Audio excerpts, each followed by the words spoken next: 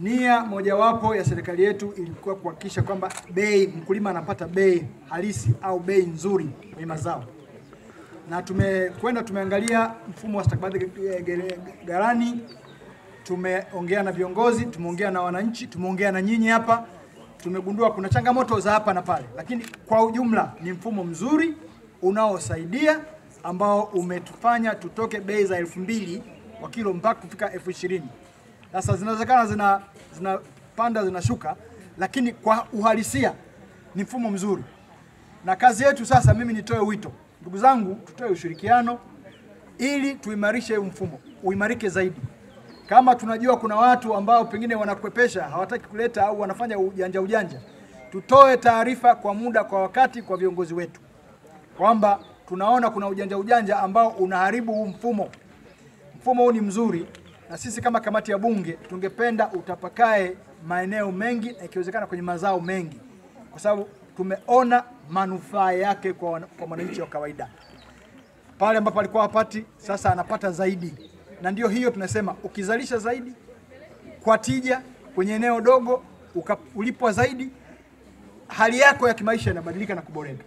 Tumekuja na kamati ya kudumu ya Bunge ya viwanda, biashara, kilimo na mifugo e, katika mkoa wa Morogoro, mahususi wilaya ya Mvomero, na sasa tuko hapa Muhonda kuona e, maendeleo katika e, zao la kakao na mahususi sana tulikuwa naangalia mfumo wa stakabadhi za ghala unavyowasaidia wakulima. Niwahakikishie serikali ya Jamhuri ya Muungano wa Tanzania chini ya rais wetu mpendwa Daktari Samia Suluhu Hassan amedhamiria kuwakomboa wakulima.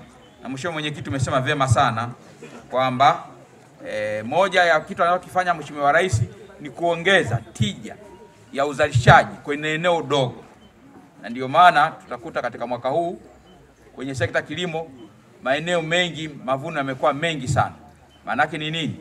Kwa sababu rais ameweka ruzuku nyingi kwenye pembejeo na misaada mbalimbali kwenye na kuongeza fedha kwenye sekta ya kilimo. Kwa hiyo hili ni wazi kwamba rais wetu mpendwa anaangalia kilimo.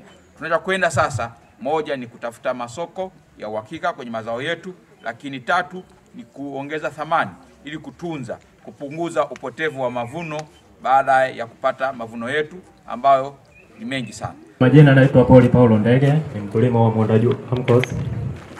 Kwa kweli mfumo wenyewe ni mzuri. Kwa sababu gani nasema ni mzuri?